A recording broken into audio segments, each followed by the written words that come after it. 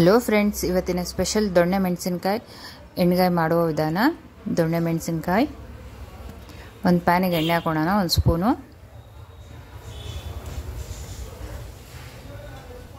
ಎಣ್ಣೆ ಬಿಸಿ ಆಗಲಿ.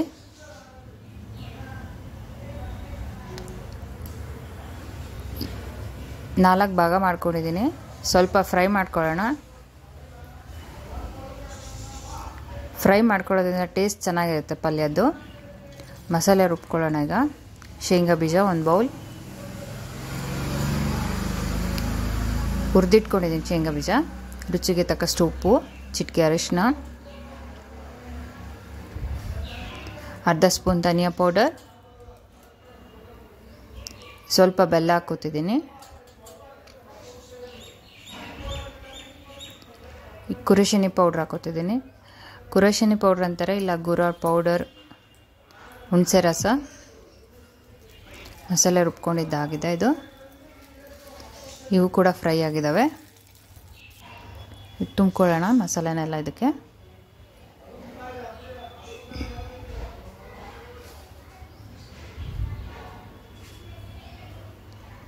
ಎಲ್ಲವೂ ತುಂಬ್ಕೋತೀನಿ.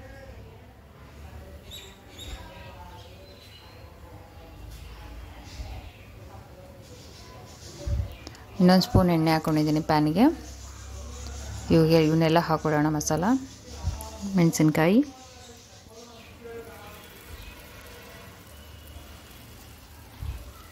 ಒಂದು ಈರುಳ್ಳಿ ತೊಗೊಂಡಿದ್ದೀನಿ ನಾನು. ನಿಮಗೆ ಎಷ್ಟು ಬೇಕಷ್ಟು ಹಾಕ್ಕೊಳ್ಳಿ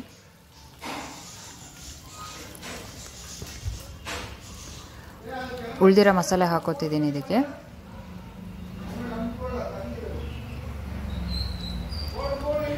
ಇದು ಚೆನ್ನಾಗಿ ಬೇಯಲಿ. ಕುದೀತಾ ಇದೆ ನೋಡಿ.